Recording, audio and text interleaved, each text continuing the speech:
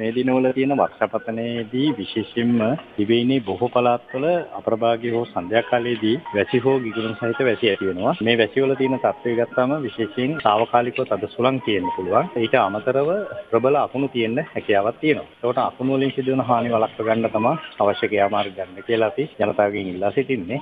අනිත් එක තමයි මේ తాවකාලිකව තද සුළං හේතු කොටගෙන ඒ අවට තියෙන ප්‍රදේශවල දස්කොළන් වල අතු කඩා වැටීම් වහලවල් ගැලවී යාම වගේ සංසිද්ධියක් වෙන්න හැකියාවක් තියෙනවා.